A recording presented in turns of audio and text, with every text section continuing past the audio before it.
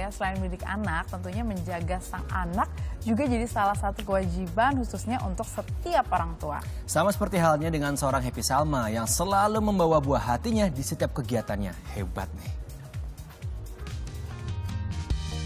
Sejak dikaruniai anak pertamanya, Cokorda Sri Kinandari Kertiasa, Happy Salma kini sedang disibukkan mengurus sang buah hati yang baru berusia tujuh bulan. Hal tersebut membuat istri dari Cokorda Bagus ini harus memberi perhatian dan kasih sayang yang maksimal untuk anaknya.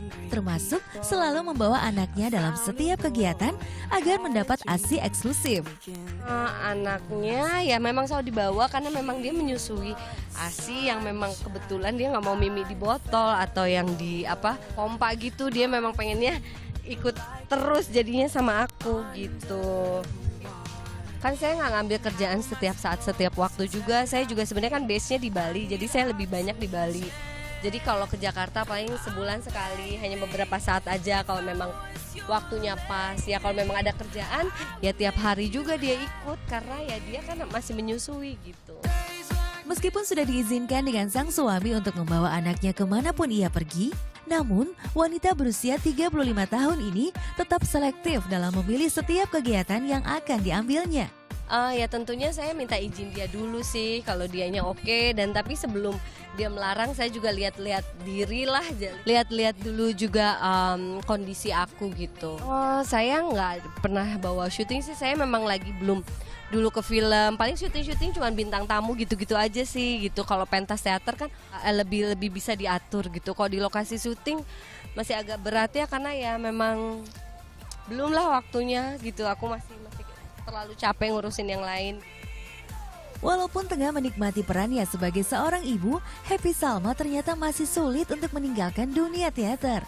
Beberapa waktu lalu, ia tampil dalam sebuah pertunjukan dengan tetap membawa sang anak.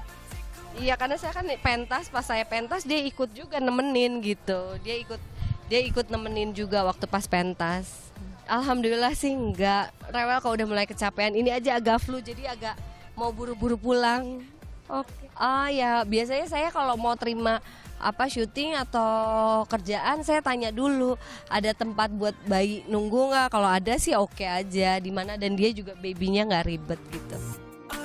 Karena kegiatannya yang cukup padat, ia memiliki cara tersendiri dalam menjaga kesehatan dirinya maupun sang buah hati. Iya, uh, saya paling saya berusaha se apa sesehat mungkin makanan yang dimakan, terus minum vitamin juga gitu. Tapi kalau bayi ya asi aja.